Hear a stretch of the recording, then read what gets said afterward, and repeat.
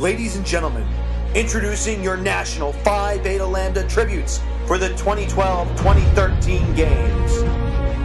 The Western District Tribute, Brian Holson. The Southern District Tribute, Jessica Berger. The North Central District Tribute, Stephanie Boardman. The Mountain Plains District Tribute, Peter Ron. The Eastern District Tribute, Amrutha Shredar. The Parliamentarian Tribute, Amber Kutnick. The Treasurer Tribute, Brett Harris. The Secretary Tribute, Shun Zhu. And finally, the Presidential Tribute, Donnie Iorio.